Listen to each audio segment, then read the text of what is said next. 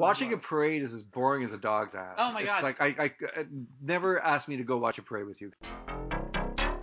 All right, you primitive screwheads, listen up. Roger, Roger. What's our vector, Victor? I have come here to chew bubblegum and kick ass. I know that, Mr. Man. They also call them cereals. I'm not stupid, you know. The story is ludicrous. You can imagine where it goes from here. Fixes the cable. What if you couldn't remember your real name, your first kiss, or your last goodbye? I don't remember. And then suddenly, all your memories came flooding back to you, one bullet at a time. I'm in the PTH. You're an assassin working for the United States government. When we first met, you were all like, oh, fooey, I burned the darn muffins. Now, you go into a bar, 10 minutes later, sailors come running out. What up with that? This fall, if you have plans for a calm, quiet evening, it's time to kiss them all. Good night. Geena Davis, Samuel L. Jackson, The Long Kiss. Good night. Directed by Renny Harlin. It is After Dark. It is Black Dog Video. That makes this the Black Dog Video After Dark podcast, aka Black Dog After Dark. Uh, here in December, Hmm. we have joined together Join forces. Our The- forces are joined. the end of 2019. Yeah. to Get rid of talk- this to wretched talk year. about movies. My name is Dylan Rhymer. I'm a stand-up comic and someone who works at Black Dog Video. And to my left is. My name is Al Chisholm. I work here at Black Dog Video. Can I call you out? Can I call am you I out? bodyguard? Can- can- I've never called that, you Al that just kind of slipped out. Um, you I, could call me Al. I- That's what you're that's what you're trying to say, uh, right? That's fine. Or Alex Chisholm, that's fine. But I work at uh, the Black Dog Video. That's right. And I also work at the Rio Theater just down the street. And I'm uh, Dare Gay. Uh, you can. Uh, I own this uh, wretched establishment that we're uh, huddled around the microphone at the desk at, uh, about to do a podcast. This is so. This is uh, probably going to be the last podcast that hits the air in the year 2019, and so we want to say good night to 2019. What kind of good night are we going to 2019. say gonna say Uh, long kiss. we're going to give this this uh, this year a long kiss good night, We are. right? Uh, it is the long kiss goodnight from uh, 1995. I was surprised to find out it was that. I thought it was in the 80s when I threw, threw it on. Because Geena Davis is looking hot through her whole I don't life. know. I just for some reason I assumed it was an 80s action movie. So you have this predated um, the accidental tourist. well, that that's that's my bar for everything. That's how I judge all movies. It's that that's Transylvania that, that's like that's that's like Jesus Christ being born is accidental tourist when that movie came out. That's how I judge everything. Jesus in his way was an accidental tourist. Oh wow. Film is directed by Renny Harlin. Who did he ever make a good movie? Maybe besides this. Are you crazy? I am a Renny Harlin fan. He's a bit of a hack, I'd say. Exactly why I love him. Right. He's not an auteur, but if I were to No, make he's movies, not. I would make movies the way that Renny Harlin makes movies. Crappy, crappily. Yeah, well, okay, so he did Die Hard 2, he did Cliffhanger. Cliffhanger. The, the only good part about Cliffhanger is the first ten minutes. Oh, Cliffhanger's great. He also made The Adventures of Ford Fairlane. Oh, that's right. That was okay. That was That was what's that? What's that And comic's he name? got he got Andrew Dice Clay. Right, right. And he got the uh, and Ed he O'Neill's got the one. gig for Oh. Die Hard too because the executives were so pleased with the rushes of Adventures of Ford Fairlane. I remember watching Die Hard 2 on 9/11 with uh, one of my employees for some reason. How many numbers are involved in this story? That's a lot of. Uh, Die Hard 2 on 9/11. It was really weird.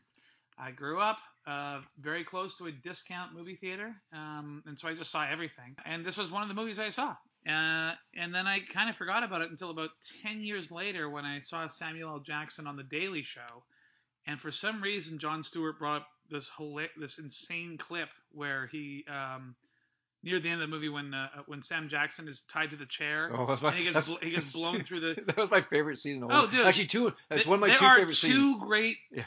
scenes in this movie, and that's one of them. yeah. And then I remember thinking, like, you know what? I really have to go back and watch The Long Kiss Goodnight again because that is batshit insane. I was laughing so hard. and then I, I think I, I maybe even come down to Black Dog Video and rented it, and and was like, how did did I not totally love this movie the first time I saw it? My first experience was the night before we recorded our Toys podcast because Dylan was, uh, of course, I'm talking about like he's not here, but Dylan was Dylan hoping who? we would do Dylan, who's here Oh, that guy. right now, Rhymer. Bob Dylan.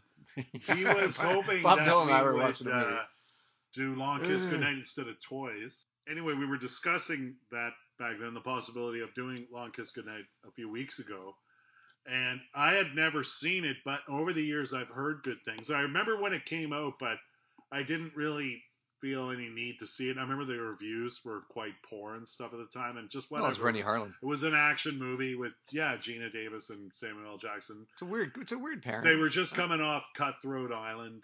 Samuel L. Jackson was not? Samuel L. Jackson, but Geena Davis You and got- Renny Harlin. you- had It it. was a I'd huge never bomb. seen. You got that I'd- backwards. Uh, Cutthroat Island was after Long Kiss. No, Cutthroat Island was before. Are you sure about that? Yeah, I'm sure. I'm gonna put my money on Alex because And- he's.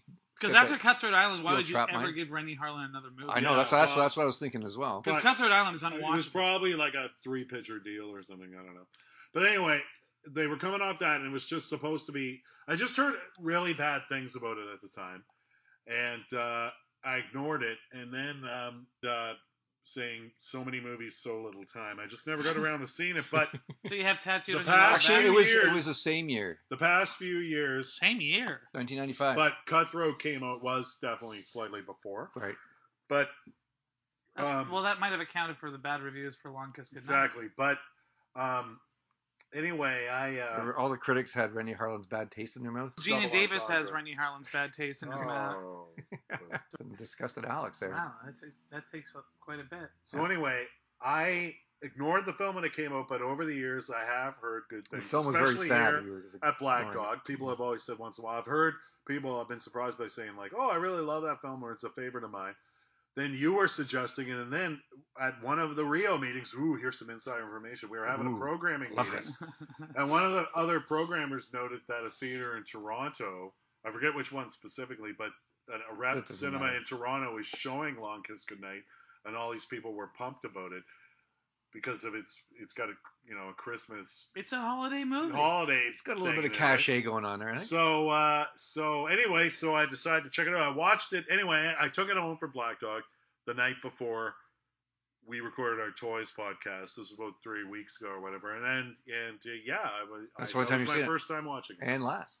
My favorite movie theater in Toronto is the Bloor Cinema, which is just uh, That's a a nice. wonderful That, that, that's theater. yeah, it's a great. it's cinema. just kitty corner to Honest Ed's, which has a, a, a nice cameo in this film. Yeah, I don't think. I, I think they're they're gone now, aren't they? On the N- uh, okay, Honest. uh, Honest Ed's is gone, so so it was it was a treat to, to see it um, in, in all in all its glory. I've heard things, and then I recently mentioned it even just just a bar here on the drive, Junior's a sports bar on the drive. A server there, they're not a sponsor, but I'll mention them anyway. The, a server there, a really cool guy, Adam. He mentioned it's one of his fave movies. Yeah, Okay. it's, it's, it's- it's been Yeah, because I brought it up. I brought up that we did the podcast and we were just talking over a beer one night, and I mentioned, yeah, you know, I just watched this one called The Long Kiss Goodnight that we didn't do for the podcast. We haven't decided to do it yet. Um, like I loved it, and uh, he brought up it was one of his favorite movies. Yeah, there you go. fantastic. How about you, Big D? I watched it on uh, the home videos when it came out. I don't remember exactly when or where, or how or why, but I did watch it, and I actually thought it was really good. I, it was something a little.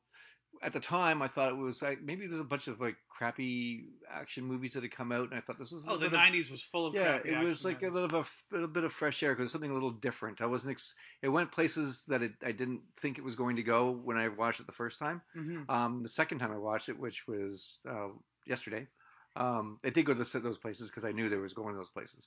So I went to those places with the movie. I enjoyed it. Um, but yeah, no, the first time I liked, I watched it, I liked, I quite liked it, and it was on VHS and full screen, so you know, yeah, it was good. I, I yeah, that's I- that's uh, that's the vague recollection I have of watching this film. And, It's yeah. yeah, and it like and I'm I would consider myself a fan of this movie. Like I probably have seen it more than most people. like more people on the planet, Yeah, probably. I mean, other than the editors or whatever. right? It, it somehow escaped my notice that this movie takes place at Christmas. Every year that makes such a big deal out of Die Hard. Mhm. And and then I started Well, it's a- thinking, it's- it's a well, far what superior about, film. um, What about uh, uh, Lethal Weapon, which is also a Christmas movie?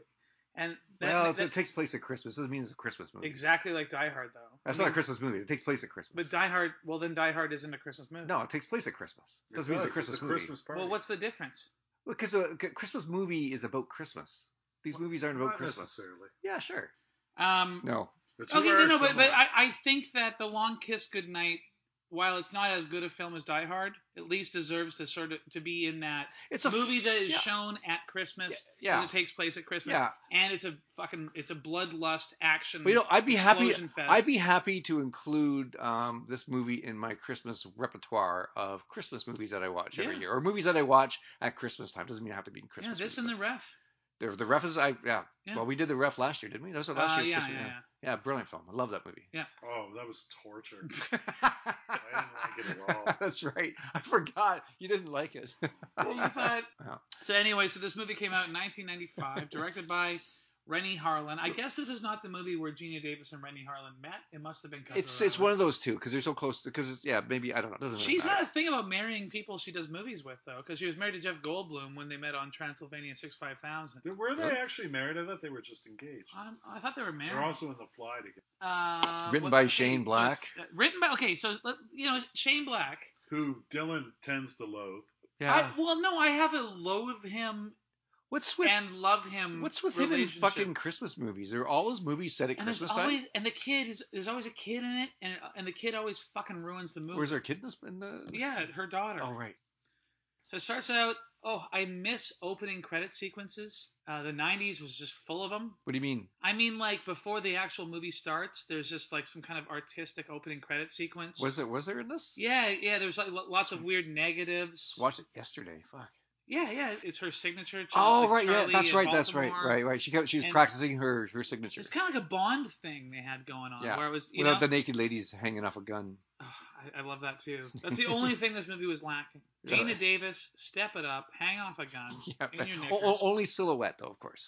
Yeah, You all- really- all- all leave a little of that imagination. Yeah, and then the gun goes off and there's like sparks. Yeah. Anyways, so No, uh, so we get that awesome opening credit sequence, and then um, and then another totally hack trope. Parade, fucking well, parade. parade. is a bad call, but also like the parade. voiceover. You like that parade? One thing I hate is when a voiceover goes, "That's me." Mm. What I really hate is when they go, "That's me." No, not him. Uh-huh. That's me. Like, because I always think, well, are you sitting next to me in the theater watching it with me? Well, so like, but I, I, to be honest, I don't even remember the voiceover. Did it just? yeah, did- it starts out with a voiceover. but but it, does the voiceover continue through the whole movie? Or does no, it, no, it no. just, It, it, it doesn't come back at all. Which So is what's the another point reason why it shouldn't have even What's existed. the point? If there's a voiceover to start the movie, it's got to be through the whole movie. Now, Charlie Baltimore, but, but at this point she thinks she's Samantha. Yes. It's uh, is telling you how great her life is in this small Caucasian town, yeah. and she's she's the queen of the parade. And she's on a she's like and, and then again I was like why do people like parades like what's the point of a parade Yeah, gay people, enough already. that well that that's a fun parade but it's way there's, there's way too many people go I, I don't even go to that anymore there's way I too don't- many people You know, I've actually never been to a gay pride parade. it's fun but uh, if you want to wait in the hot sun for you know three or four hours I'm not big and- on- I was in the Pride Parade several years ago. The Rio had a float, and it was so fun. I bet We had a float. We had So a far. we had a bus, like a double decker bus, and we had Spice Girl drag queens on the bus with us. what were you dressed It as was basically a 45 minute bus ride. And it was like, it felt like an amusement park ride. Be a rock star for 45 minutes. Everywhere you look, crowd hysteria. just cheering cheering us and- on. Looking up at apartment buildings and people are waving you Yeah. down to you from balconies. It was so fun. did you uh, did you have like a squirt gun or anything like that or No, uh, nothing like that. I just held up various Rio signage. I was kind of like, we let the drag queens and we also had burlesque performers and some employees are younger employees and like colorful costumes and Right. stuff. Really taking center. And I was like in the background holding up signs and Yeah. stuff, but it was a blast. I Oh, I was in a parade. Oh. It was more fun than watching a parade, but it was Watching a blast. parade is as boring as a dog's ass. Oh my it's God. Like I, I, I never ask me to go watch a parade with you because I will say no. I'm not going to go watch a parade. Yeah, parade. I always with you. wondered that. Who likes parades? I don't know. I've never, I've never been a fan, and I'll hopefully never I, ever. I see used to love. parade. I gotta drop in my obligatory Dartmouth reference, the Okay. Dartmouth Natal Day Parade. What does that mean? Well, it's like the birthday of Dartmouth. They called it Natal Day. Natal Day. Natal Day, that's right. And uh, there That was sounds- also a sounds fair. creepy. It sounds like a Wicker They used to boil hot dogs and make cotton candy out of lake water. thing. They- Mmm. They're right on the shore of Lake Banook, but there was a parade Sounds every year. I, I So, just so, so, so you won't drink the water in the video store, but you'll eat lake water cotton I candy. was really just teasing about the water in the video store, but I just wanted something with some fizz. And, and the weird thing is, they actually found the hot dogs in the lake. That's yeah. even And they're like, weirder. Those "Ah, aren't hot dogs. Fish up those uh, lake hot dogs, Yeah. Dartmouth lake hot Yeah, they're a little cold, but Um, I, I quite I quite like uh, those Cold War um, military nuclear bomb parades. So those are those are fat. Like, you pretty mean you mean you mean the ones if you go to like Red Square in Russia? yeah, watch, yeah, like in 1983. That'd be the Soviet Union then. Yeah, yeah. y- y- you put an underdog in there. There's lots of missiles and tanks and people like walking with their legs high in the air. Okay, we have to talk about this movie. Why don't you uh, instead of like just us like yelling at each other? Why don't you do the summary and we'll so interject? uh, at this point, uh, Geena Davis thinks she is a character named Samantha, who is like the queen of the parade of a small town. It's like very so Santa Claus it's, parade. it's like She yeah, Santa Claus parade in like a Home Alone town. It's like it's just so fucking perfect. yeah. And uh, you hear her voiceover, and, and, and I woke up on the beach, and I had no idea who I was, but I was pregnant, and here's my daughter, and Been here's my boyfriend, and somehow I, I, I can afford a fucking house. She has Does she the have a, did- did- idyllic did- life. Does She's she, married. But did, does she have a no, job? she's not married. Uh, Oh. No, no, no, because he's because they have a conversation where they're like, should we get married? But Oh, whatever. I see. Wow, That's okay. Uh, right. as You're far right, as you're she's a right. te- she's a school Controversial. teacher, and, and back in the '90s, school teachers could easily afford two-story houses. Well, what about? I'm sure that her not husband has a job that probably can. Uh, she can. but they're not married. That's for sure. Well, they're living in sin. Then is Well, I what you're got saying. the I got the impression that he Fornicators. that they didn't Whoa. live together, but but, but no, no, they, they all live together. okay, whatever. So she she's not married. She has a kid that she woke up with amnesia. She was knocked up on the beach. Right. Um, my question is, have you guys ever met anybody or know anybody who's had amnesia? Can't remember. No, it's a movie thing, obviously, because I don't think amnesia is a real thing. It's Mhm. real. No, bullshit. It's real, but rare. It happens. It happens rare. very often in the movies, soap operas especially. Yes. I, I, I rolled my eyes. My oh, my eyes actually rolled back in my head, and I couldn't see anything. And then they, they came back, and it was okay, Uh, extreme trauma, whatever. or or whatever. So she's well in the movie it's treated as whatever. Uh, and and she and she also points out that she has hired a bunch of private detectives, starting with expensive ones, and they couldn't find out who the, Right. who the hell she is. 'Cause It's so hard to figure out who a beautiful woman actually is these days. I know. And so now she's just she's just got like hacks, Yeah. like Samuel L. Jackson working on it. Now, it, does the guy in prison see her on TV before Samuel L. Jackson is introduced? This is what I have here. Okay. Um, and so that the, there's there's the amnesia thing. We're introduced to her, introduced to her family, and they're introduced to the, the bear, Mr. Perkins, for some reason. Perkins. Mr. Perkins, which comes into play later, that- that's which well which, which you know is going to come into play later. And she puts the necklace. No, that's she does that later. But and then uh, then they have a Christmas party, and there's a lot of bad Christmas sweaters, Yes. and they're but you Yeah. can, you can you can just feel that there's something a little bit off. Yeah, yeah, yeah. Um, but because everyone's having a good time. and she and she drives. She oh yeah, and and, and then her boyfriend tells a terrible joke. and and then, and yeah, then uh, The oh fuck I do drink and smoke. And then, well, then somebody offers some advice at the party. I think she says it to the kid. He says to the kid, says, uh, "May the best of your past be the worst of your future." And I sat there, I was like, "What? What? What?" Now I've seen this movie like ten or fifteen times. You say you've seen it more than anyone in the world. Yeah, ten or fifteen times. Really? But that's brilliant. I, I never noticed that. Hmm. Yeah, may the The best of your worst pa- the best of your past be the worst of your future. Which took me a while to figure out because, well, I had a few beers I was watching as well. Then we meet Samuel L. Jackson, who's uh, who's pulling some sort of con. yeah, he's like a shakedown. On Yeah, some, well, he's, he's got some hobos, one who barfs in the woman's apartment that he's trying to. Uh, He, he, he, he frames him. For and then he starts, starts, yeah, that's right. And then he starts talking about ass fucking, and like, and he kept going about ass fucking. Like, really? That's really? Shane Black. Really? Hey, come on. Shane Black always does. Yeah. that. They cut to uh, after the the party. Um, Geena Davis is driving the the police chief from police squad. home. Police squad. That's yeah, right. Yeah. Alan North. and he keeps distracting her because he's putting his hand in front of her He's face. drunk and she's sober. Yeah. And she has that funny line where- where she's like, "Can you do me a favor?" And uh, every every couple of every couple of lines have bubbles come out of your head and go hick. I don't Right, know. right, right, just- she's she's yeah. clever. She's smart. Yeah. You know. And then, and then there's a deer all of a sudden just standing in the road. Oh, because he's waving his hands in your face Yeah. too. Yeah. And But- there's a deer. But there's that. Actually, this is my the, the, for me the funniest part in the movie. I know it's it's tragic when you hit a deer and the deer crashes through the window and then kicks him in the face or Yeah. kicks him in the head, Starts which which. I, I I thought I don't know why, but I thought that was hilarious. that happens. Crash into the woods, hit a tree. She was flying through the windshield. Yeah, yeah, yeah. Like flying through the windshield. Yes. And then the car catches fire. And. She has no broken limbs or no, anything. and then she gets up and makes sure the deer's okay while her friend's burning to death in the okay, car. no, she breaks she its goes neck. and breaks its neck. No, because she hated that No, deer. 'cause- no, no, because She's hungry. She wants- she wants some because venison. the accident triggered uh, the Charlie Baltimore Right. to, to, to, to, come Yeah. back to the surface, and and, and she I love that neck scene. because it's suffering too. Yes, of course. Well, but and- uh, and yeah. then and she wanted to you know have that delicious venison. That's right. She was, well, she was hungry. In that situation, you should probably have checked on your friend in the car first before the deer. Sure, the deer is I'm suffering, trying to but think of the She's last so the last two in or three times I've gone through a windshield.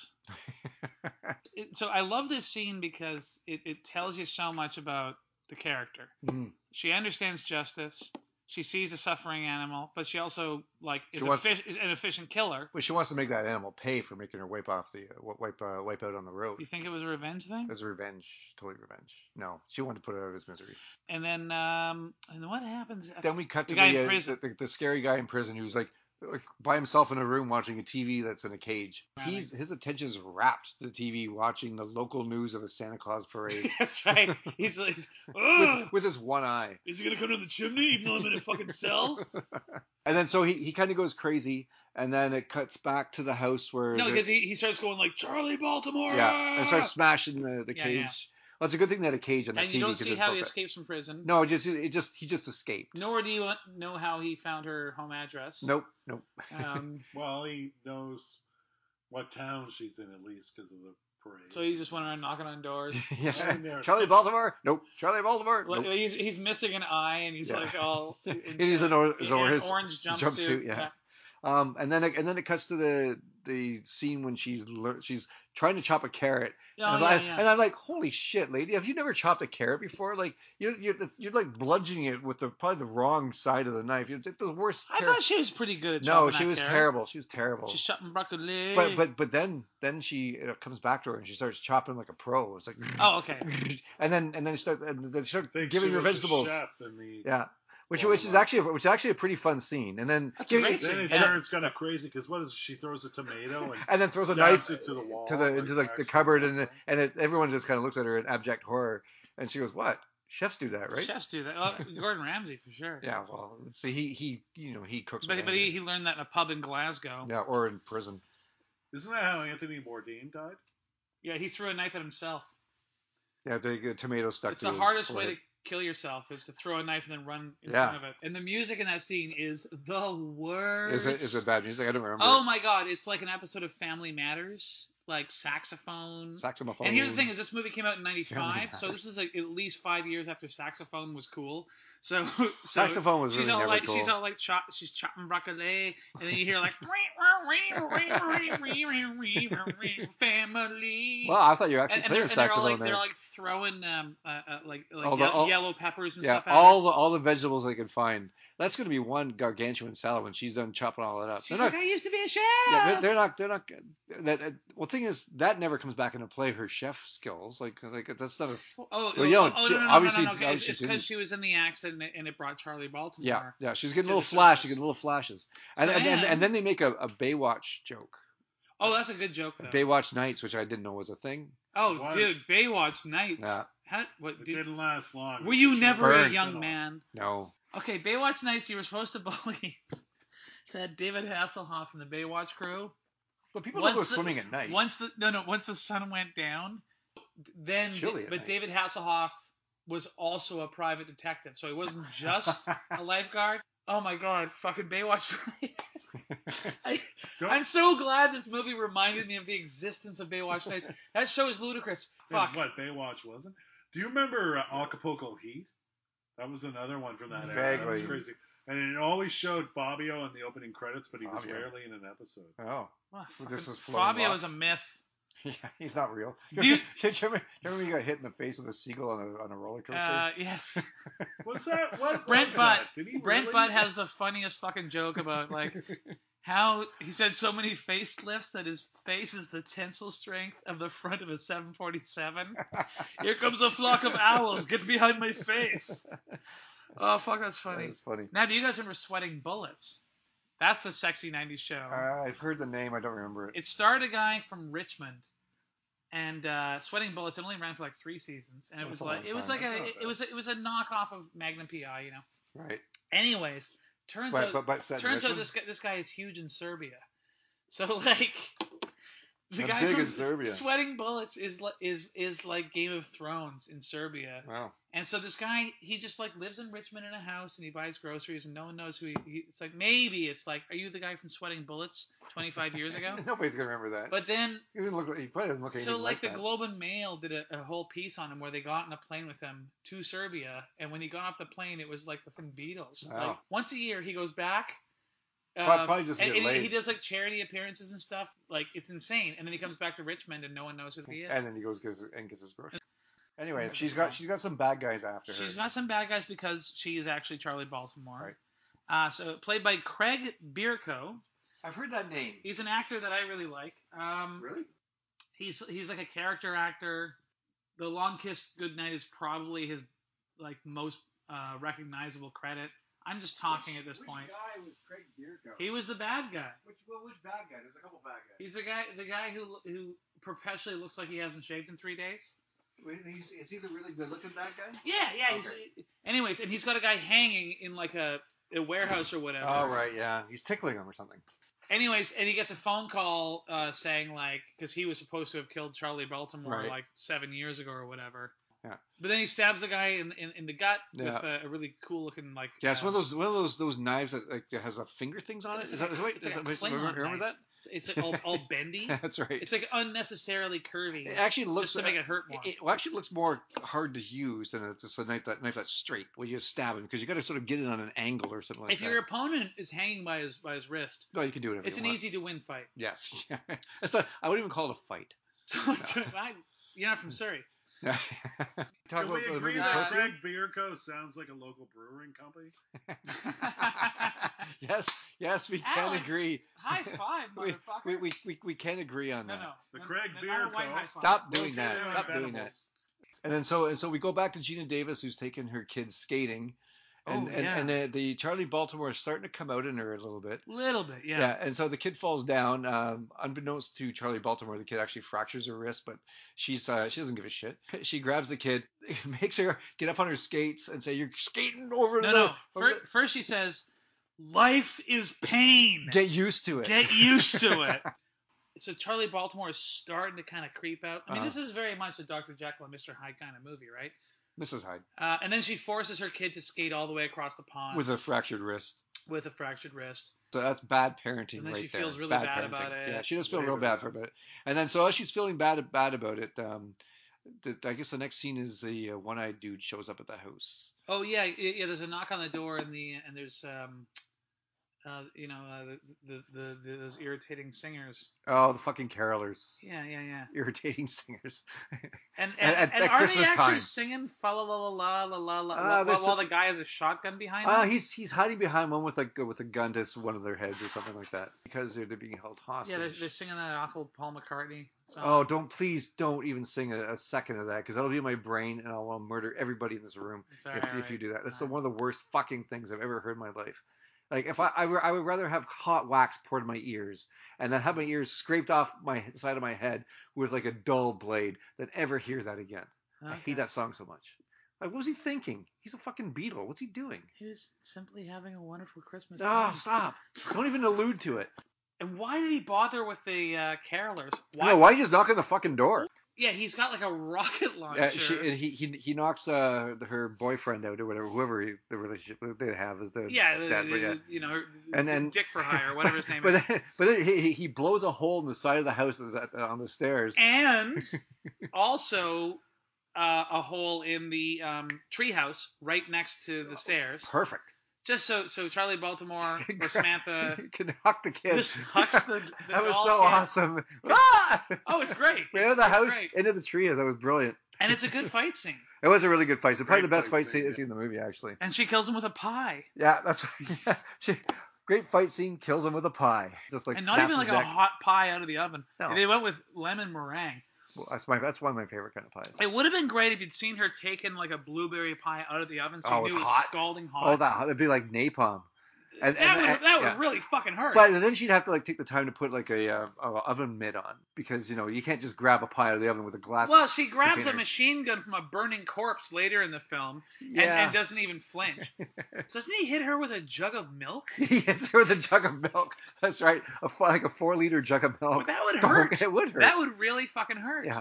And also, it's symbolic to the motherhood theme. right, milk. Milk in her boobs. Yeah.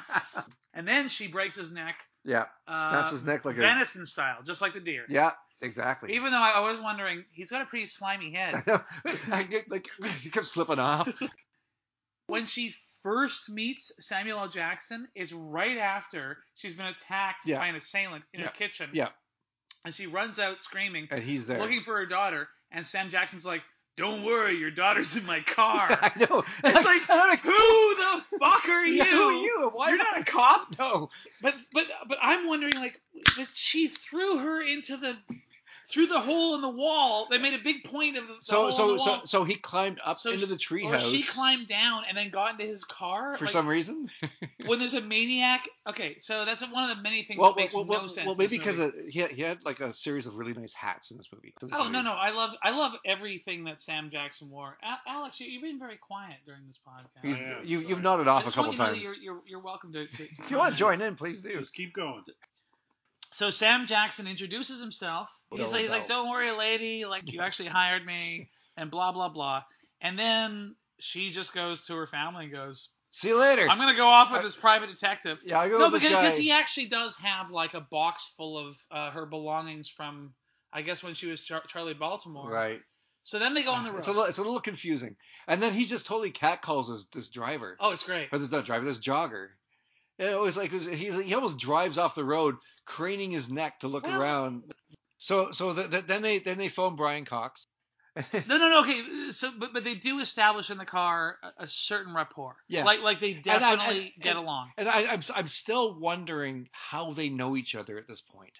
I'm still I'm still wondering why she's driving off with Samuel L. Jackson. You didn't know he was a private detective? I did. Well, not really, because the when you're introduced to him, he's pulling a scam on somebody. I was confused too. I thought he was a scam artist, and then he uh, he hired a couple of hobos, one one of which who barfed in the guy's apartment, and because because they're, yeah, they're because he's pretending to be a cop. I thought Yeah. he was a criminal element from her yeah. past. I did. I did first, I there was it was wasn't, a the s- guy. and and then they they, they sort of alluded to finding amnesia woman, but I thought it was to scam her. I thought it was just because he wanted he like everyone else was on to her Yeah. having a dark past. Let's pull let's pull a scam on her her. Yeah, she's ripe for the because he's impersonating a cop. He's he's a completely Uh, despicable. yeah, well, human. well, no, it's not completely I wouldn't despicable. No, I wouldn't say despicable. despicable either. He's he's pulling harmless pranks for money. Well, no, it, It's it, not a it, prank. it's Well, I it- mean, not a prank. It's not a prank. It's, it's a con job. Yeah, it's a con job. But the guy, the, the dude's cheating on his wife with a prostitute, and so what? He gets burned. Fuck that guy.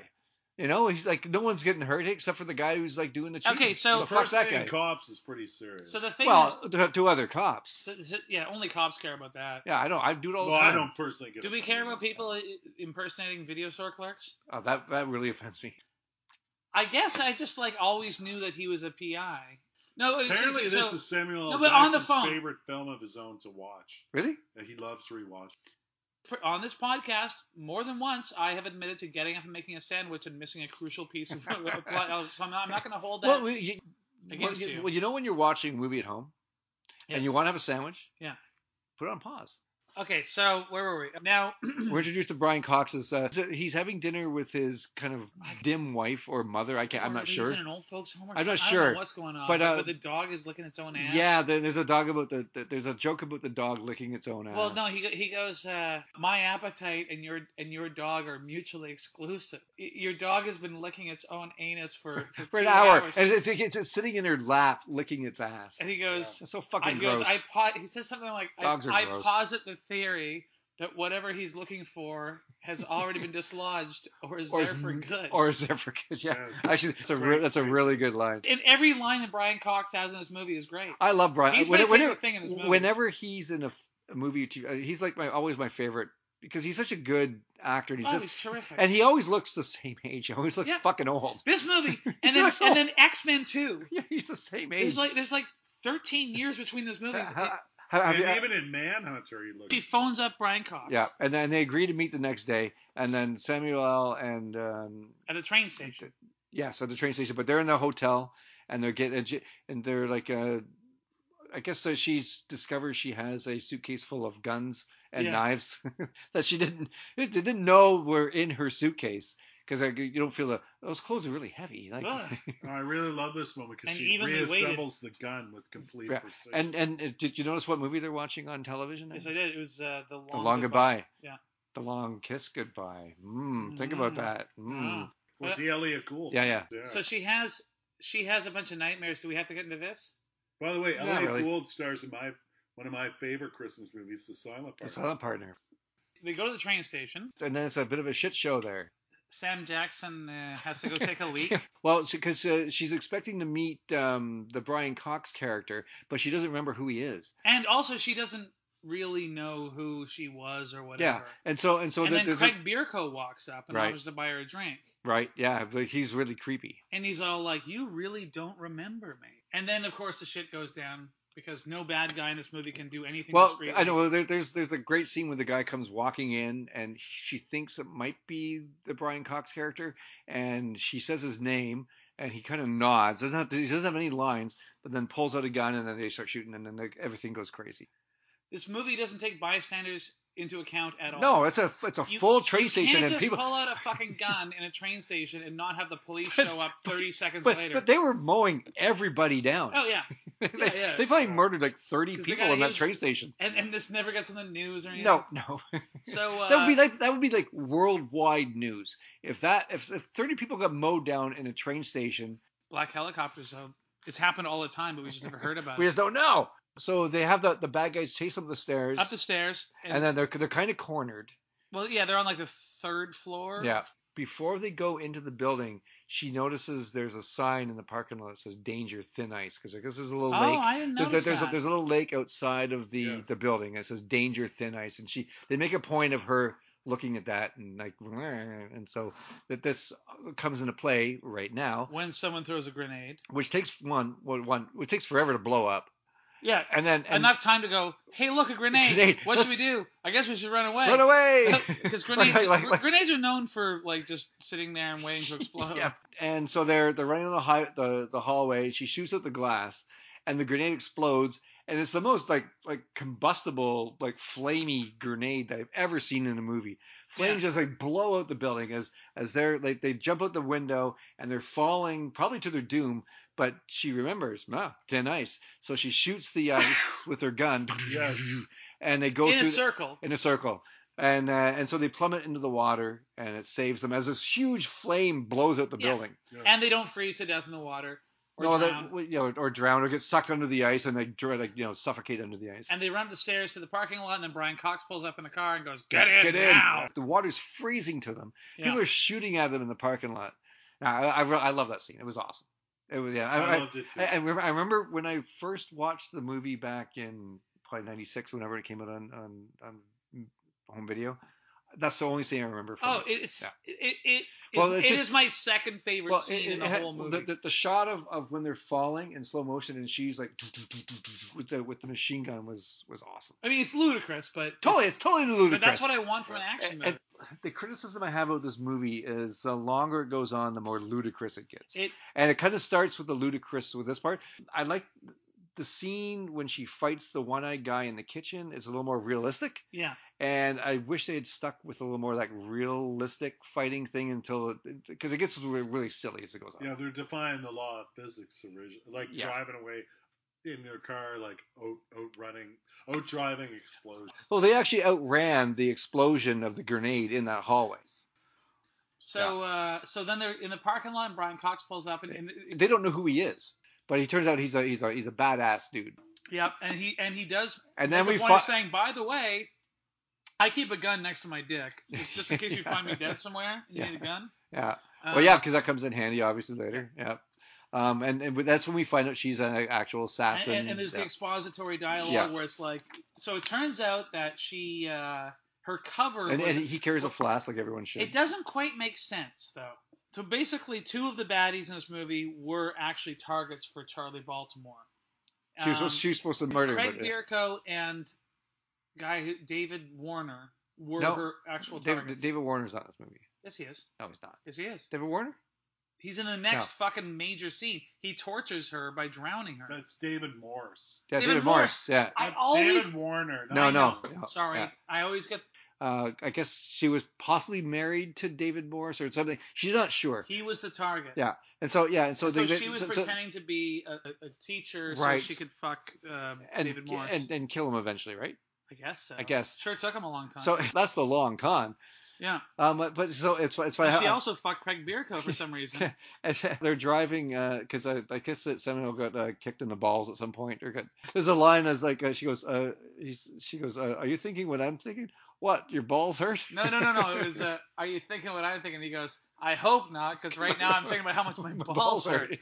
No, this movie's Is got that- great yeah, it- fucking banter. It- It's actually that's a pretty good line. And so they, they go to David Morris's uh, like a farm, and I actually I remember I always like David Morris. I like that guy. He's, He's like great. yeah. And then St. Elsewhere. and He's a fave actor of Sean Penn. Oh yeah yeah Well, he's Right. in like the Indian Runner and Right. the Crossing. And he's in Guard. Yeah. The Green Mile. movie yeah I no love. he's he's a great actor, and I, I remember from St. Elsewhere. He's such a He's a like, master Yeah. of understatement. Yeah, totally. And he's that guy that shows up and is always solid and every- everything that's in. Plays a lot of bad guys. You knew he was a baddie. well, I didn't. I did at this point, but I was kind of thinking it, and then I I, I wrote never trust David Morris. Never, never trust David Morris. never trust David Morris. That's the Morse code. Yeah.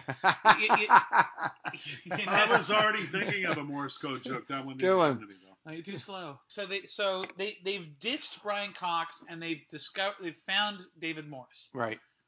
And then uh, and Sam Jackson of course is doing a thing where he's got a rifle and a gun Right. and he's just he's just you know he's in the distance watching um, Samantha and David Morse have Through a the, through the scope and, and, and uh, through through this whole thing, uh, Sam Jackson's got that da, da, da, da, da, which I really like. He's, yeah, because he- it, it helps me remind helps things. him- But I'm like, turn around, turn around. Yeah. s- Stop, oh, there's so gonna be a gun in the stop, back of your head. stop singing and turn around. But then Brian Cox shows up and puts a gun in his head, and it's like, do you know who that guy is? Blah blah blah blah. He was the fucking target and all of this shit. Then realize he's a bad and- guy. and then I'm like, well, then how about sometime in the last seven years, you kill him? I know. Or find What do you someone. know? He's just been living on the farm, Hire another assassin. and then they do. then they then they do the stupidest thing. Now they've established that David Morse, who's not too far away, he's like 40 yards away, They can take him at any time. and, and, and David or, or, or Brian Cox tells Sam Jackson to drop the rifle, and then goes, by the way, he's the bad guy. was it? and Was then it? Was it? running. Bri- then they go running around the corner, going like, "Hey Samantha, don't trust him. He's a bad guy." Blah blah blah. Why did you just shoot him Here's a crazy idea. There's a rifle. with a scope? Pick it up, blow his fucking brains out. Yeah. But then we couldn't have the great. The sort of- helicopter come down. No, or no, the uh, the next scene when when they're, she's tied to the wheel. Oh yeah, this weird water wheel. Well, what was It's that a thing? medieval form of torture. No, it's not, that's not that well, it was, but but that's not what it's for there. No, it's, it's not because what it's, it's it's, it's for, to but- make like like uh, things for the farm. I'm not sure what kind of things, It- but It's like some kind of weird. Wa- it's weird. it is It- weird. It's a water wheel in a barn. But all these all those with all old these timey gears and farms have. pulleys that where you can conveniently fucking strap someone to it and then drown them. Done that's, some not, conversion that's not what it's it. for. Well, then how is it so easy to tire? and- and then- Because it's a movie. like- well, they've then I'm like, converted it for torture Because it's a movie. So but she- no, That's an old school form of torture, But- like in that Marlena. but Davis. How do you tie a person to a wheel? you drill some holes in it and you get some ropes. no, okay, but she's unconscious and she probably weighs Uh, about. the thing is, I think thing is, how, how how would you get an unconscious person? That's what I'm saying. It'd be so. You're only one guy. Uh, there's, there's two Oh no, no, There's, there's two guys. oh wait, wait, wait, wait, no, no, you, you tie her to the top of the wheel. But why? Why would you go And through then all that and- trouble? and you- Once it's underway, it's a great form of torture. You can see. Yeah, well, it's very, it's very um uh theatrical.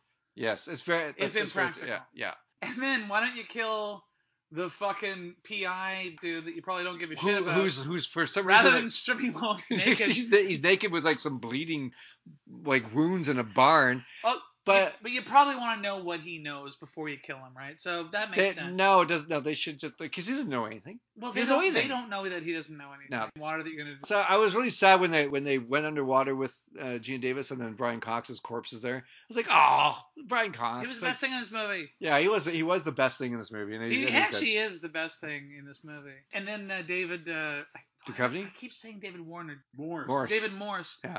Is all. There's no more beautiful female face than when it's distended in pain. Witness the agony of childbirth. Like, what, what, what is this? yeah. And then she she threatens him, saying, "Yeah, I'm going to kill you." And and he he kind of has a little bit of hesitation because she he kind of knows she might. So why don't you shoot her in the I head? I know, I know. So they put the wheel underwater, and she somehow gets out of her ropes and grabs the gun out of Brian Cox's cock. Brian Yeah, Cox. yeah. And, And then uh, cocks the she gun. cocks the gun, which I don't think guns work if they've been submerged They do in now. water for well, a long at least time. not in movie logic. I don't know if that's true. I only know that from movies. No, they- yeah, me too. I never fired a handgun with like They that. can, they can Never. fire underwater Especially- now for sure. So he wheels her back up for some reason because I don't know why he just Yeah, let why her is drown. he wheeling? I know why he just let her drown, Yeah. and then she's obviously freezing. Her lips are turning blue, and then she shoots him, and then gets out. It's dumb, but I liked it. And Yeah, me too. Um, okay, so Blob, and then she saves Samuel L. Jackson, and then they wind up in Atlantic City. Now, now at this point, She's taking a shower well, with with with the without drawing the curtain. I'm okay with that. Boy, why are you taking a shower without pulling the shower curtain? Nobody does that. Because uh, Renny was like, Yeah, come on, come on, lady, Yeah, come yeah, on, no, my my lady. wife. He's like, so then she tries to fuck Sam Jackson. Yeah. Um, and I I like this scene because he turns her down and goes, look, you're not fucking me because you want to fuck me. It's because you just want you want to bury the school teacher that you that, that you thought you were. So I also forgot there was a great moment earlier in the film when Sam Jackson's like, "Do you always swear this much?" She's like, "No." He's like, "Because when I first met you, you're all like, oh fiddly dee, I burned the muffins." but, now, but now, when you swear, when you walk into a bar, a bunch of sailors come running out. Running out, yeah. Anyways, so then she goes for a walk and she's using Sam. We're just gonna hurry had, things up here. had she, has she cut her hair and dyed her hair at this point? And so she's she's Let- blonde Let's and just short say hair that she has. Wearing a lot of eyeliner. This is now? Uh, a la Blade Runner. This is all in the same She, she, sequence. she she totally looked like Pris from Blade Runner at this point. And then she goes for a walk. She and Sam Jackson go to a payphone and make a phone call to the CIA or whatever There's, there, there's a to, fun, to lure out the. there, uh, there's a funny pop goes the we, pop goes the, the weasel joke. Um, I can't remember what it was. I hope you guys remember. Yeah, I can't recall. anyways, all right. Anyways, carry But on. anyways, blah blah blah blah blah. Uh, she goes for a walk and some creep shows up with a gun, and that guy's like a Toronto actor. I can't remember his name, but uh, was it like uh, Al Waxman? uh, Red Green actually? Uh, it, Right. Anyways, right. So right. uh, uh, takes her into an alley and, and is gonna blow her brains out, and she's like, "You're early." So now she's just full on Charlie Baltimore. yeah, no, she's just killing guys left and right. And uh, the guy's got a gun on- trained on her, and then suddenly Sam Jackson's there with a gun, and he's like, "I I got a gun," and then Sam Jackson goes, "This ain't no ham on rye." Sorry, I would have been here earlier, but I was busy thinking up that ham on rye line. Oh, it's it's great. It's like this movie isn't about the plot or the story. It's, just about, the, details. well, yeah, the, de- when they're in the, the hotel room and uh, they're, they're they're you know she they're doing shots and she rolls the shot Oh, glass. How do you do that? Yeah, and, uh, well, the thing is, why do you do that? She, like, I thought it was, I thought weird. It's a weird way to take a shot, but it's, it's great. She rolled it across her mouth and then and then and then took the shot and then rolled it again off the other side Well, of her Well, it's head. like yeah, she rolls it in one side of her face when it's full, Yeah. and takes a shot, and then rolls it up the other Yeah. side of her face when it's empty. Yeah. And I'm like, how do I how do I not know that trick? Yeah. I wonder. I wonder how like like like take thirty five. Do that again. Can we not use tequila this It's time? funny because Adam, the bartender I mentioned earlier, who loved this movie, mentioned he could never figure that out either. Yeah. So, and this is this whole scene in the alleyway. This takes place like right near And the, that- the Bloor Cinema and uh, and Honest Ed's Honest Ed's. Yeah. in Toronto. That's right. Uh, and so she just fucking like kills. Two dudes turn up and she can kills them both. And Right. then, she, then she goes to Sam Jackson like, "Are you a She- fucking idiot?" She Was, was this be- before uh, he says uh, last time I got blown, candy bars cost a nickel?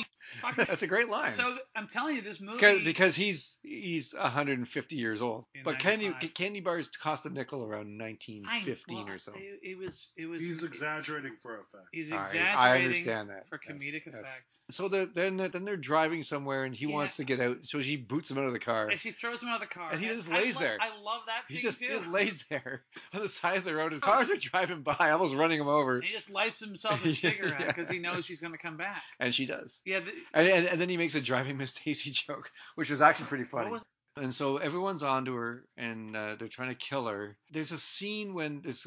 I, I, I don't know how it's set up. What do I have written here? Oh yeah, he, she oh she's she's running through the neighborhood with a rifle, and she's got her blonde hair, and her eyes are all because she's going home to see, make sure that her family's okay. Oh, no, no, she's going back for that key. Go back for the key. That's right. That's around Mr. Jar- Jerkins. Yeah, yeah, Jerkins. Mr. Jerkoff's. Uh, neck. Um, and then she comes across that kid who was smoking earlier in the film. Yeah, she threatens him. She threatens, pisses- and they, has anyone ever actually peed yourselves in fear? But I, there's no, a really I great peed shot. myself from happiness. In uh, it reminded me of I- uh, I- I- the man who fell from Earth. Constantly The pee man myself. who fell to Earth, the great David Bowie, Nicolas Roeg film. Candy Clark pisses herself when he turns into an alien in front of her. That might make me pee myself. There's right. also But- but a great o- peeing o- yourself only scene. if I have to pee. There's though. also a great peeing yourself scene in um, Threads. Still the best war Ugh, film ever. When you the bomb Threads. goes off, it cuts to a woman on the street who's peeing herself. Yeah, but she would have done that anyway. terror, It had nothing to do with the yeah, nuke. yeah, yeah. So it was really Thursday. go. Um, there's a, there's the first peeing yourself scene I ever saw was in the movie Starman, directed by John Carpenter. That's a- Karen, the- the Karen Jeff Allen Bridges. pees herself when Je- Jeff Bridges comes back as her dead husband. Ah. Oh, I guess- it's a, a visual reaction is why is. people pee themselves in movies. I've never known anyone that's pissed themselves in fear or in pain or in happiness or in ecstasy. I don't know. Or, or just for the fuck of it. Nobody pees themselves for the fuck of it. Bronson Pinchot actually has a, story about uh, being on the set of uh, pissing his, his pants on the set of uh, Perfect Strangers, where they're all sitting on a couch and, and they've been kept so long in between takes. They had to go pee. Yeah, He's he- gonna go pee. No, he just he couldn't hold it anymore, and then he just pissed his pants. And That's he- ridiculous. And then he just had to go. Uh, yeah, I, I just pissed myself. I'm suing everyone. it's everybody. weird because it's Balki saying it, and I'm like, Right. ah. And then of course there's the kid in Magnolia who pisses himself. Yeah, there's a, there's a lot of peeing yourselves in movies. You can probably look at like like a hundred movies of people peeing themselves. No, I if you- say the, the Again, next, it's it's like amnesia. next series of podcasts we record exclusively with films in which a character pisses Himself. himself. He goes back to her small town yes. to get the key. Yeah. There's a scene with the kid which has nothing to do with anything. Right. Although it's kind of funny where she's like, because he's smoking, and she's like, if I see you smoking again, I'm gonna blow your brains out. Yeah. And he So she she's himself. traumatized a child. Yeah. Yeah. He's Um, scarred for life. He's probably he probably froze to death And right then, there. I don't know. Oh yeah, and then uh, of course the kid is kidnapped, and so and then she puts on the skates and Which races is which across the. which is the which is Would this take is like, so like, long. like for me this okay like this is when this movie started to lose me a little bit here. I was like, love this so- skating so- scene. so- it's so- ridiculous. But do it more. Top yourself at this Okay, point. okay, listen. I'm loving the ludicrous. Okay, well, it's ludicrous on several levels. One, because early in the movie, um, they were in the same town where they jumped out of the yeah. of the um, the train station, and it said thin ice because the ice was, you know, it oh was yeah, but, but uh, here it's, it's thick enough to skate on. it's thick enough to skate on and have a car on it because the car ends up on the on the. oh yeah, on- you're right. but Shit, now I hate the movie. do you know how long it takes to put fucking skates on? She grabs skates and she runs. It takes like ten minutes to put oh no, skates that's on. That's why I don't skate. I play hockey. I play ice hockey, and I hate. If I was a rich man, I would have a little monkey that does my skates. I would. I I, would like a- little helper monkey, a little skate monkey. When I was a little kid, I played minor hockey, and I have a vivid memory of a Friday night practice, literally a day or two after. You'd have to check the day of the week when the space shuttle Challenger, Challenger. exploded. 1985. But a day or two after that, the the very next hockey practice after that, the equipment manager, remember equipment managers of our, Kid, he was tying our skates. He was tying my skates, and he says to me, he was totally stoned too. It was this guy named Tommy. Tommy, if you somehow hear this, Smells like Otto's jacket. he was tying my skates for me. And I'll never forget him going, "Hey Alex, what does NASA stand for?" And I'm just going, "I don't know." And he goes, "Need another seven astronauts." Yeah, yeah. Then he, Those jokes came out really That- that fast. also he told me The red button one's better. the teacher because the teacher Yeah, was on there. He's like, "What was the school teacher's last words on the space shuttle Challenger?" And he said, "What does this button do? No, it's As what it's what's this skates. red button for? What does this button do? Not the red button. Hmm. What's this red button for? That that's the punchline. Red buttons. What does this button do?" Back to the movie. Because you, you- And so, so she. now she, now she, a dark so- cloud. So, so, now she- we have to edit more. Now- now There's I'm- nothing left of the podcast. I'm just thinking of so dead she school teachers. she skated across the Dead- across Dead the rink equipment managers. across the rink to start shooting at cars on the road. yeah, in and- broad daylight. in broad Again, daylight. There's people all around. No the car the car drives down onto the onto the lake, which should should have collapsed right through the ice. And she shoots them all dead. Yeah. Yeah, and then uh, See, I, I, and, and then and then and then they go. Samuel L. Jackson makes a comment. So, So, but but she she- just wounded them, yeah, exactly. but she He was take shot in the shoulder? shoulders Out or Yeah. whatever, But yeah. And then they go, and then they cut cuts to the church where the families of the Oh, the church, church, because yeah. she, yeah, cause she, She's, she's, aiming at them. The no, no, she's, she's, she, at she's not aiming, she's looking to see them. She's not Oh, like she's not gonna shoot them. Well, Well, she's, I thought she was going to take because she breaks- I have to eliminate any any Yeah. evidence of where I was. Well, the thing is, that was not established earlier that, that the church is right across the street from our house at all. yeah, because I was like, the church is right across the street from the house. Yeah, that was that was And not there like- before. And then she pulls out the rifle. And Maybe like, they built that. I'm like, there. is this is this like I don't like Mondays? What, like what's going on here? I thought you- she was tying you- up well, loose you- ends well- and she was going to take a shot at. And then the film was going even further I, crazy. I would have loved if she was tying up loose ends by taking out her family. Yeah. Yeah, yeah, yeah. By the way, the early scenes, like when she assembles that gun, I found that shit scary. I thought she was going to be completely ruthless and sociopathic with her own family later. So, Because okay, I love that point earlier. It's not we didn't mention this in the podcast, but I really love when she's terrified. She's scared up in the treehouse. Uh-huh. The boyfriend goes to see her, and he's like, "Don't ever worry and stuff." She says, "It's not you I'm worried about, or it's Right. not me Actually, I'm worried about." actually, yeah, it's a good line because she was worried about like killing her. Yeah, actually, that would have been good if she killed the family. I would have, uh, I would have been on board with that. Me I, too. I would have been okay with that.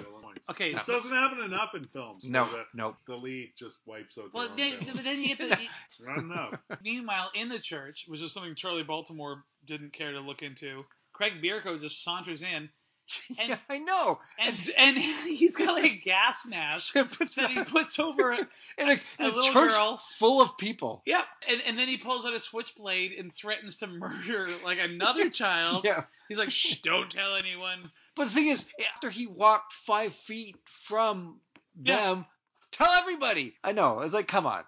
And so basically, you know, fuck all of it. Like, th- this chunk of the movie I found kind of boring. Well, this is when it gets as for as I said for me, it just starts to get too much. You know, they had this great thing going, and they kind of lost the plot a little it's bit like, along you know, the way. mid the mid movie. And and this is also when I realized that Samuel L. Jackson's character's name is Mitch Hennessy.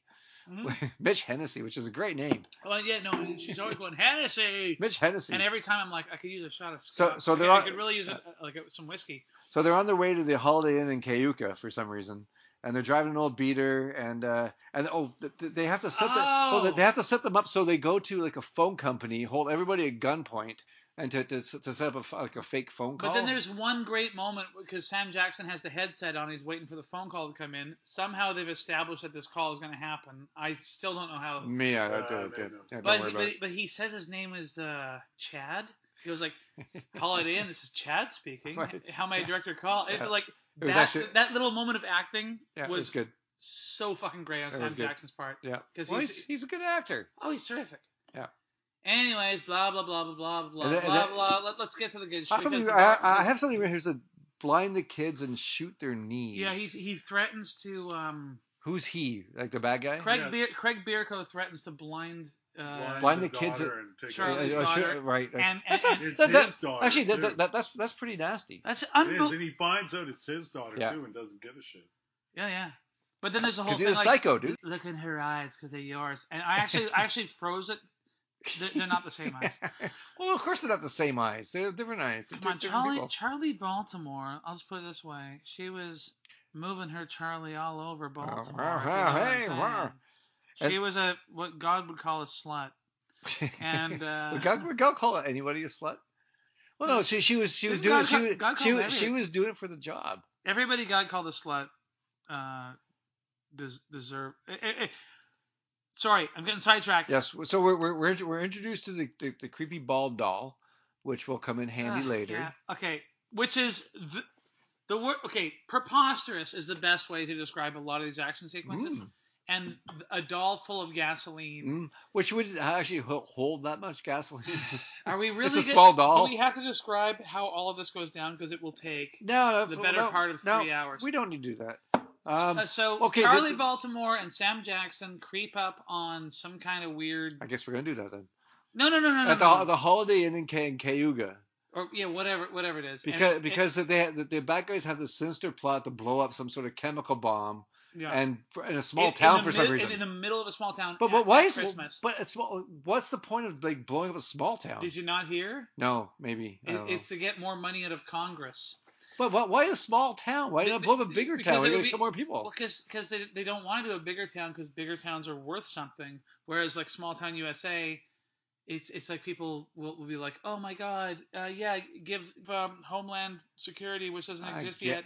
Um, but I but this is like what six years before 9/11. But so, the thing is that this this trope shows up a lot in movies. Well, I just watched a movie today. It's a terrible movie called Angel Has Fallen. My kid was six, so we watched it. We like oh, I haven't seen that one. we yet. watched bad action I've, movies. I've actually seen the other two, and and, they're and terrible. yeah, they're all terrible, and uh, it's all the same shit. It's like to you know to get more money to go to war and bullshit. It's a, it's such a trope now. So the, yeah, so they're gonna blow up a small town Yes. in a tanker truck Yeah. at Christmas to get more money out of And and, and, and, and and so and so for some reason they they capture Geena Davis and she's trying to get out with the kid and they lock her and the kid in a freezer, In a freezer. instead of murdering them, which I- they probably love- should have done. and I they love lock them in a it's just like freezer. freezer. Yeah, oh she's no, no. defying every odd at this point. Yeah. You just put a bullet. put in it it. Wait, wait, Yeah, wait, wait, wait. No, no, no. There- It's the Bond okay. thing. in this case, it actually wasn't the Bond thing. It wasn't just, ooh, we're gonna lock you in a freezer for Mhm. the sake of locking you in a freezer. It's because the bodies had to be perfectly preserved, so But- they so they could plant them in the car. But without- no, no, but they already had the other body because when that when they open the freezer and there's a dead guy frozen, it's like who the fuck is that guy? Yeah. And then but it came into play later. Anyway, So, and, and Samuel L. Jackson got caught, and this is my favorite moment in the whole movie. Upstairs, yeah, was- Samuel L. Jackson My favorite is moment tied as well. to a chair. yeah. in- And, well, the, the thing, all these things had to happen. One, that early in the movie, uh, early in the movie, Geena Davis's character gave her daughter a candle to put in the window. It's a fairly large Oh, candle, God, yeah, which for some reason the daughter carried around this large candle, like either in her backpack or under her, and and, and stuffed some uh, matches yeah, in her cast. into her cast. Yeah. So like I would just picturing this kid like this is taking weeks to, and she's carrying this giant candle under her coat. There was no candle No, in, in no. the freezer, but the, but the matches were under her. Uh, But the the, the the the candle came into play because she knew she was in the hotel room because she carried that. That's how she knew she was in that hotel room uh, at the at the Holiday Inn. oh, Yeah, right, because she right, put the right, candle right, in the window right. Earlier, they they got trapped in a basement with a bunch of gas shooting all and over a the bunch place. of gasoline conveniently shooting everywhere. So they filled the doll up with gasoline, which is a relatively small doll. Had a big head, but also, it's a small doll. It's very nice of the bad guys to allow um, The- the, the- their, the- their the- victims to carry a doll around. to carry a, a doll that smells like gasoline. Dolls are not like watertight. Like No, like, there well, must have been gas dripping. well, it was well, it was one of those uh, those dolls that pee for some reason that girls like Just- back in the like they have a doll that would urinate. That It's did like, not but- last very long. No, that's a bad idea. Yeah. Well, you just- Again, there seems to be a theme here. Urinating characters. It- it urinating was bait- yeah. Dolls urinating. Dolls, are dolls full of gasoline. That So- doll was like, it- it- it- it- there's there's a scene when the, there's gas pouring like out of a tank, and I have to assume that they're putting the doll under the tank to fill it up. It'd be covered in gas. Everyone would be covered in gas. Yeah. And they're taking a doll in his room. S- There's, there's reeks of gasoline. Everyone smells of gasoline. Uh, nothing, nothing. I heard that today, where you know the director. I, I'm sorry, it's just I can't pronounce it probably, but the director of Parasite. Yeah, I know you're Bong talking He was Oh, on isn't Q today. He Yeah. brought up how smell is one of the hardest things to express. In, in movies, of course. movies, Well, course. I, I, I've, have you ever, so ever, it's kind of like So let's just get through this. Yes. So on the third I still floor, got two pages of notes. How's that on- possible? because this movie is ridiculous. Uh, So on the third floor, Sam Jackson is tied to a chair, and Craig Bierko is coming in, and instead, and he throws a knife at His Sam balls. Jackson's dick, Yeah. and it sticks in the chair. Yeah. That's crucial. yes, it is. Meanwhile, three stories down, Uh-huh. um, uh, a mother and daughter are are are left to freeze to death, and um, mother has filled the fucking doll with gasoline, Yeah. and she she carves she. She- some- and they let her have a fucking crowbar, yeah. and she carves a little After a after after tunnel after of- I, I love the scene when like uh, Craig Baker swears at the kid. He just like, like he just like swears at this child. yeah, like, he's a, he's a he's a, a bad dad. yeah.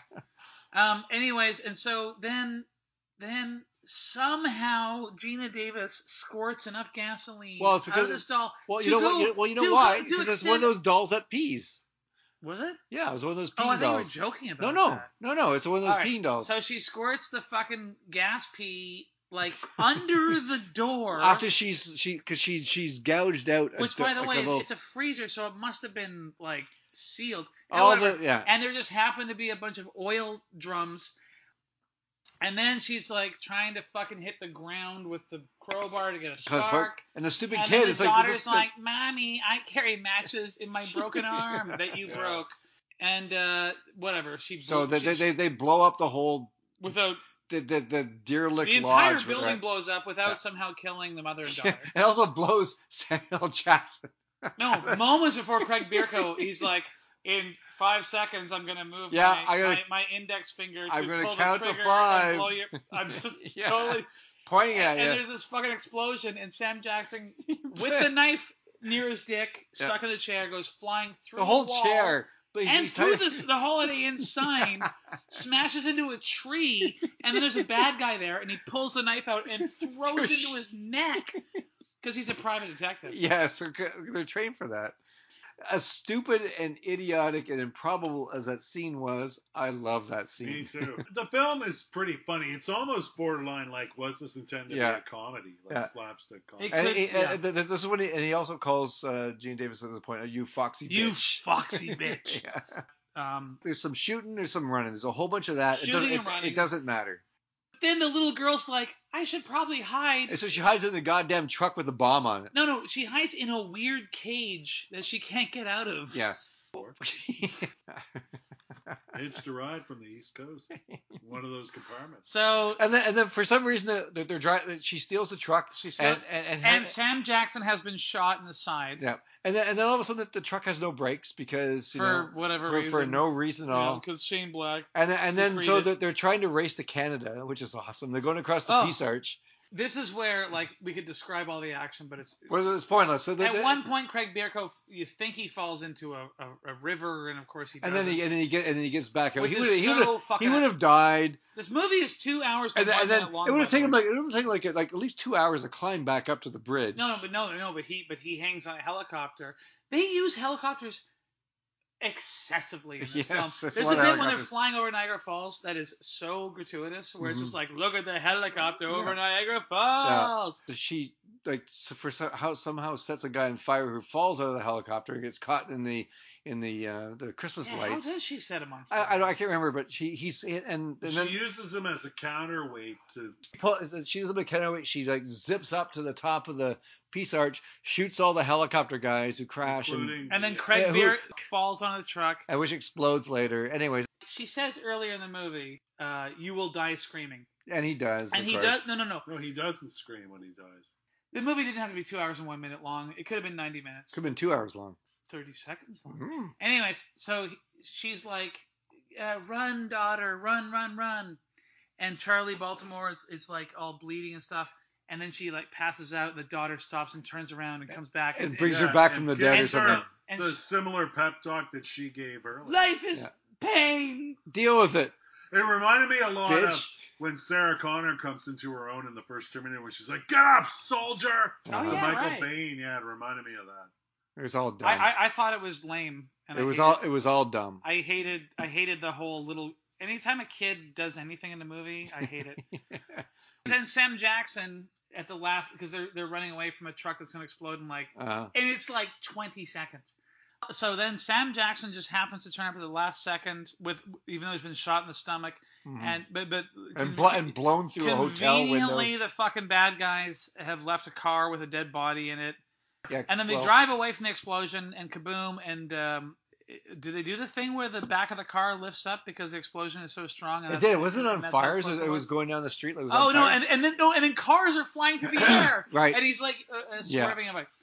And then um, the movie ends, and the, the head of the CIA, who was a, a scumbag, gets arrested, and blah blah blah. And the president, G.D. Spradlin, who played the scumball in Godfather 2, who ends up in in bed with the dead prostitute. He's like the congressman who tries to In which movie? in Godfather 2. Okay. He's the president. Yeah. this.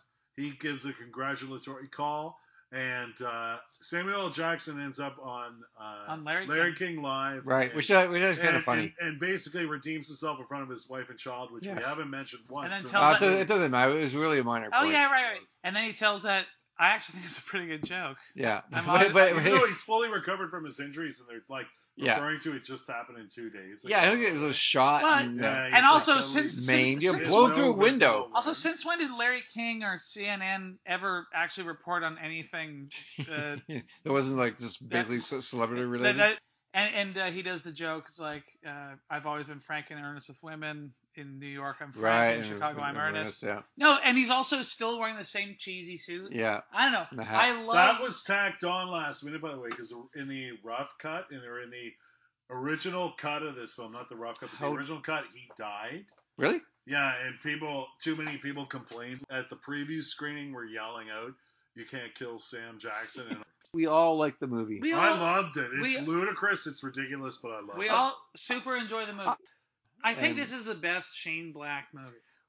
yeah, Um, which which I guess he- isn't saying that much because it's not a great movie. It's a fun movie. I'll watch it again for sure because it's a good time. Uh, and G- Geena Davis is great. I love her transformation. I love when she I does. loved her transformation too. And and I I also like She's the, a superb actor. she is a superb actor, and uh, and Samuel L's great. He's always great, and it, I think they were good- they had a good chemistry together. We all know Mondays at Black Dog Video is two for one. So, Alex, uh, somebody walks up to the counter holding a copy of The Long Kiss Goodnight, not tell- knowing that they get a free rental. Um, what would you pair up with The Long Kiss Goodnight? Two suggestions. A long Kiss Kiss Kiss Goodnight. Bang Bang Sure. because it's also by Shane Shane, Black. Black. And I, takes- take- I love takes- the movie and it has the word kiss in it, just like One Kiss It's, Night. it's The Last Boy Scout, which has nothing Ah. in Also common, Shane Black. just because it's over the top and ridiculous. I hate that movie, but I love um, Kiss Kiss Bang Bang.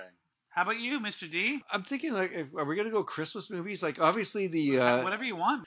I, I'm gonna I- I'm gonna go something completely different uh, for Christmas. I'm gonna Why- why recommend not? this great Finnish movie called Rare Rare Exports. Really? Yeah, it's a, if you want a good a good Christmas movie to go with a me a, a pretty good Christmas movie, go Rare Exports. It's a it's a creepy Santa Claus uh, movie. Yeah. It's great. You yeah. said it's a rare Finnish movie. Oh, that's not the. No, it's called it's a Finnish movie called Rare Exports. That's Oh. not. Oh, I, I always get that mixed up with Troll Hunter for some reason. Troll Hunter is great as well. Yeah. Um, but uh, but uh, rare exports, yeah, they find like a, a Santa Claus buried in the ice, and they yeah things things don't go well when they when they thaw him out. like the thing. Yeah, no, well, no, it's, it's, it's not as good as the thing, but it's different. That's awesome. Yeah, it's it's great, and all these uh, these weird uh, you know Santa Claus troll elves come and attack the town. It's great. Yeah, watch Rare Exports.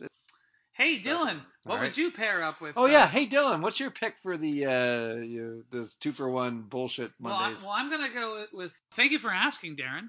And I'm gonna go with uh, another movie Mhm. that takes action It's and good to small town yep. and, and, and fuse them together. Gremlins? Uh, it, nope. Uh, I'm gonna go with uh, Hot Fuzz, Hot Fuzz is a good movie. uh, directed by Edgar Wright with Yeah. um, Simon it, Pegg. it, and it, it Nick is Frost. it, is- it is the best of those three the Cornetto Cornetto trilogy movies. I don't find. agree. Actually, my, my I think the best i- is. I know you're gonna say The World's End. yeah. Yeah, I I, I like I like the I think Hot World's Fuzz. End is actually the best one, but um, I like Hot Fuzz. Can But- we but- all agree though that Simon Pegg is really our customer Ross?